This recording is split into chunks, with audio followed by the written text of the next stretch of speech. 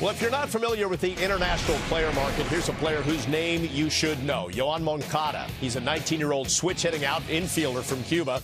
Baseball America has referred to him as a dynamic player with premium bat speed who has, to quote, an enticing combination of power and speed along with a strong track record of hitting.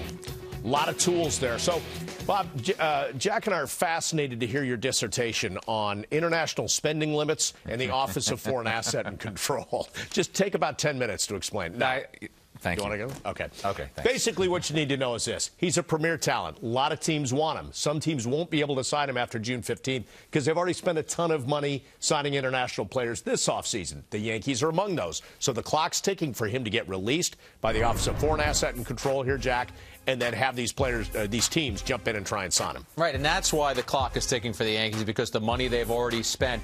But, Bob, it's an interesting guy to talk about, but it's also a difficult guy to talk about. Baseball America reported that he did have a workout for the Yankees. Reaching out to some Yankee people today, they said, yes, we like him. Everybody likes this guy. But it's tough to put a dollar figure on what you might pay for this guy because he's not unblocked yet. Major League Baseball has said he is a free agent, but he's in limbo right now, so he can't negotiate with anyone. He can't sign with anybody if he can't negotiate with anyone. One other thing about the Yankees, since they're already over that spending limit, if they decide that this guy is a 30 million or $40 million a year player, they're going to get taxed 100% on that. So he's going to become a $60 million or an $80 million player. This is an evolving story. It's one that's not settled yet. But yes, the Yankees are interested in him, as are a lot of other teams. Well, the thing is about so many Cuban players, you really don't know him. He's relatively unscouted. They've heard great things about him, and he did work out for the Yankees. But, Jack, I think I talked to the same people that you did.